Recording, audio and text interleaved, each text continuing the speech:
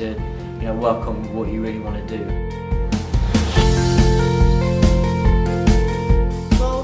I find that this department has recording studios and equipment that really give you a taste of what it would be if you were to be let loose into the music industry itself. Most of it is music technologies and music production, and then music performance and music composition.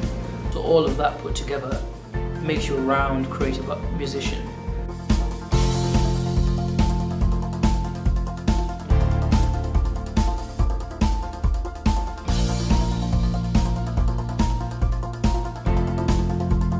It's much different to, to school. The lasting impact is, is great to be honest. Everyone's nice here and it's just a nice place to be.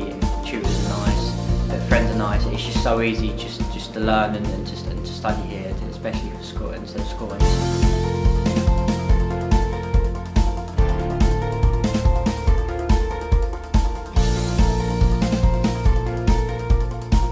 You've got more of a homely atmosphere because you know the teachers and the smaller classes, therefore you, you get treated as an individual rather than just another person in a crowd.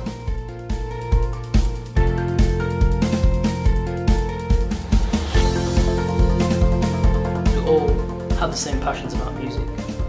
Like I have like some people that I work with composition,